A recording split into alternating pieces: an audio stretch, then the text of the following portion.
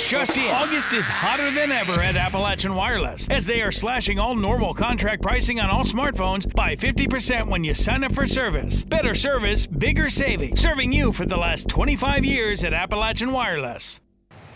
The face of the hillbilly arm drop drag races, 51 year old Kent Rose, who had been battling cancer for the past few months, passed away early Sunday. As is with any extended illness, Kent's family is left with many medical bills, and one local business in Prestonsburg is trying to help ease that burden. Sign Guys in Prestonsburg is printing and selling decals that say, Kent Rose is a friend of mine, for only $5. Sign Guys owner Brandon Patton says he owes his livelihood to Kent Rose.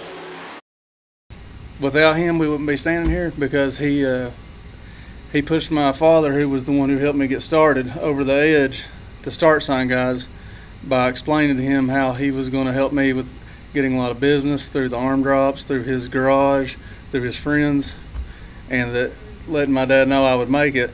And that's what pushed my dad over the edge. And I've, and I've told Kent that, and he knows that. And without him, we wouldn't be here. And it meant, I mean, he meant a lot to me. Kent's passion for racing was only matched with his passion for helping people of these mountains.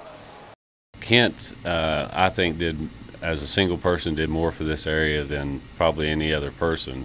Uh, when he had the arm drop races down at Combs Airport, it attracted thousands of people, race car drivers from almost 30 states, and uh, he was just such an adv- advocate for Eastern Kentucky and the tourism of this area. He loved Prestonsburg, he loved Paintsville, he loved the kids. Nothing meant more to him than to make sure everybody had a good time and and to have a successful, clean event. If you would like to help Kent's family with his medical bills, you can attend the last event Kent Rose helped organize. The stars of the TV show Street Outlaws will be at Pops Chevrolet Monday in Prestonsburg from 12 to 4 p.m. They'll be signing autographs and selling merchandise where all the proceeds will be donated to help with Kent's medical bills.